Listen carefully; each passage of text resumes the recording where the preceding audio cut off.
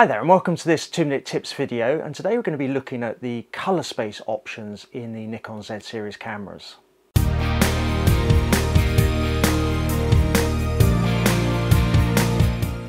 So colour space is perhaps not something we think about too much, um, but in the Z6, Z7 and Z50, as with many other Nikon um, DSLRs, you can capture and store images in either sRGB or Adobe RGB.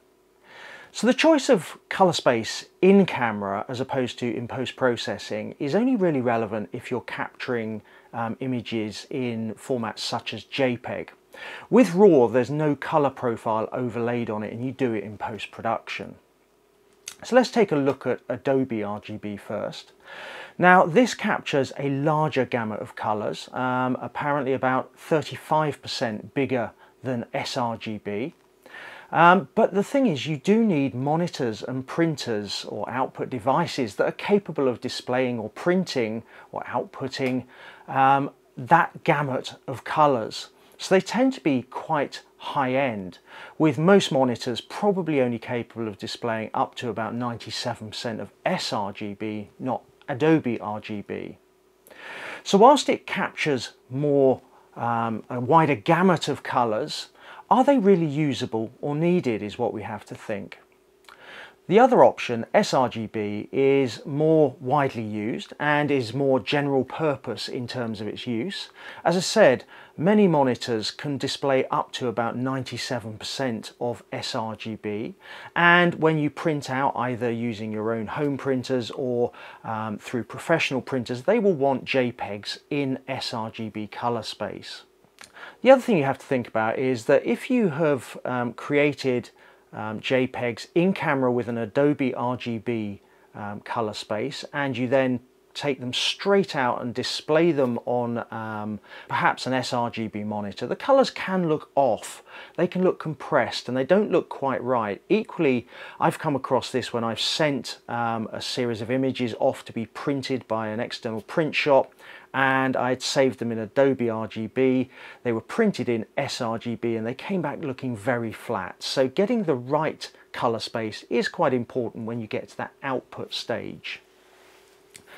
So because this only um, relates to JPEGs, I tend to have it set to sRGB because what I tend to do is shoot in RAW and I know I'm going to be post-processing it so I can choose the color space in post-processing. I'm shooting JPEGs because perhaps I want a quick image that I can put out to social media and that the most versatile approach is probably going to be sRGB. I'm not going to be using the JPEGs to do any post-processing on. I want something that's quick and distributable straight from the camera. So that's why I tend to have sRGB and I think you'll find that the default setting is sRGB. However, maybe sometimes there is a specialist use that you have for Adobe um, JPEGs, Adobe Color Space JPEGs in camera. Maybe you need Adobe output um, for those JPEGs.